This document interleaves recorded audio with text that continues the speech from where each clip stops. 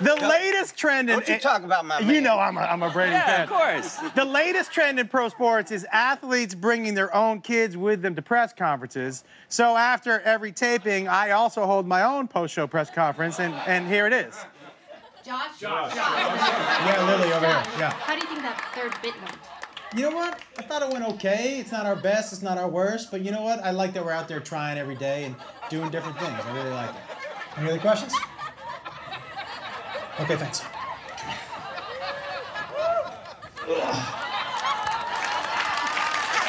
The Josh Wolf Show, Thursday through Sunday at 11:10 Central on CMT.